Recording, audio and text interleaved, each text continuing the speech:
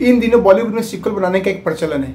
आज हर जो फ़िल्में सुपर डुपर हिट रही है, आज उसका सिक्वल बनाया जा रहा है। अब जैसे गद्दर टू, आशकी टू, इस तरीके से बहुत सारी फ़िल्में हैं जो कि उसका सिक्वल बनाया जा रहा है। इसी कड़ी में एक और फ़िल्म, लव, सेक्स और धोखा, जिसके डायरेक्टर है दिवाकर बनर्जी। अब वो लव, सेक्स, धोखा टू लेकर आ रहे हैं। आइए जानते हैं इस फ़िल्म के बारे में, क्या है खास।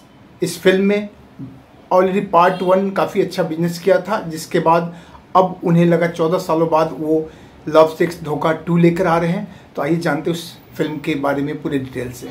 लव सेक्स धोखा में जहाँ Dibakar Banerjee sex tape honour killing और हैंडी कैम स्पाई कैम और सुरक्षा कैमरों के गलत इस्तेमाल की परतें खुली थी, वहीं इस बार लव सेक्स धोखा टू में वो डिजिटल दुनिया के पहलुओं को उजागर करेंगे। वे रियलिटी शोज़ की भयावह सच्चाई और ट्रांसजेंडर पर अपना दाव खेलने वालों की बात करते हैं, मगर उनकी कहानियाँ सोच प्रेरक के बजाय सनसनीखेज ज़्यादा होती है।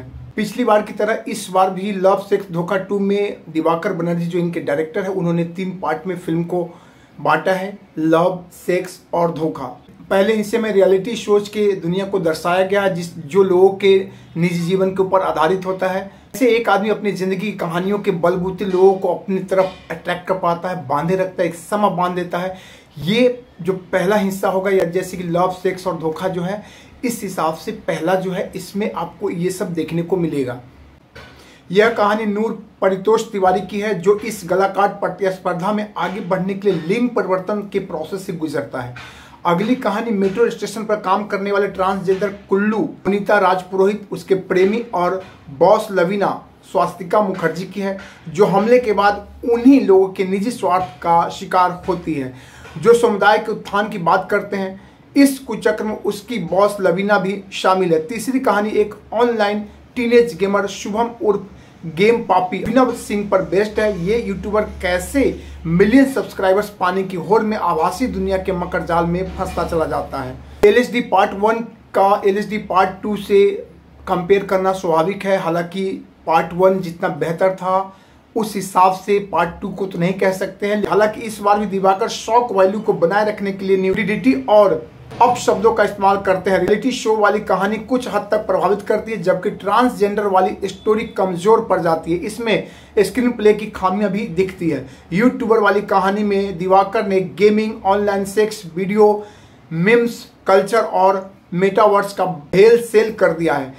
इसके बावजूद दिवाकर ने अलग अलग स्क्रीन, लेंस, लाइट्स और विशिष्ट शॉर्ट टेकिंग से दृश्यों को चटकीला बनाने का भरपूर कोशिश किया है। तीनों कहानियों में कंफ्यूजन साफ़ दिखता है। अलग तरह के कैमरा वर्क का श्रेय आनंद बंसल और रिजु दास को जाता है। टोनी कक्कर, वायु और मिट ब्रदर्स का म्यूज़िक भी औसत ही बताया जा रहा है। हालाँकि दिवाकर बनर्जी ने एल टू में बहुत सारे नए कलाकार को मौका दिया है। इसमें परितोष नूर के रूप में काफ़ी बेहतरीन काम किया है और उन्होंने अपनी छाप छोड़ने की पूरी कोशिश की है। सीनियर अभिनेत्री स्वरूपा घोष के दमदार अभिनय से इनके बीच की जुगलबंदी अच्छी बन पड़ी है। ट्रांसजेंडर कुल्लू के रूप में बोनिता राजपुरोहित और उसकी बॉस की भूमिका में स्वास्तिका मुखर्जी बहुत बेहतर तो नहीं कह सकते, लेकिन ठीक ठाक है। पर यूट्यूबर की भूमिका में अभिनव सिंह ने शानदार अभिनय किया है। उर्फी जावेद, अनु मलिक, तुषार कपूर, सोफी चौधरी और मौनी राय केमियो में है जबकि बॉलीवुड के बहुत सारे फ़ेमस एक्टर्स हैं। इस फ़िल्म में बट उनकी उपस्थिति भी फ़िल्म में वो इम्पैक्ट नहीं डाल पाती है जो मिलना चाहिए था। आप क्या सोचते हो एल टू के बारे में क्या आप भी इस फ़िल्म को देखने जा रहे हो? प्लीज़ कमेंट ज़रूर कीजिएगा।